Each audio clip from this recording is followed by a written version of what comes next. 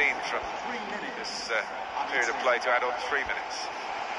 Looking a problem. Oh, Free kick given. And There's a real uh, discussion now about how to make the most of it. Was that just a case of mistiming the tackle? Yeah, it was a, a forwards tackle in many ways, a poor one. It's yellow from the ref. Oh, without question. Oh, he's so capable from this distance, Martin. Very capable. de tres dedos. Oh, God. Damn. Practices this type of free kick on the training ground. And as we always say, practice makes perfect. Perfect. You don't often see this, such a one-sided first perfect. half.